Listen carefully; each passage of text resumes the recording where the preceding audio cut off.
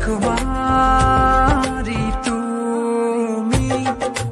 ভালোবাসি আমি যে তোমার এই কথাটাই ছিল শুধু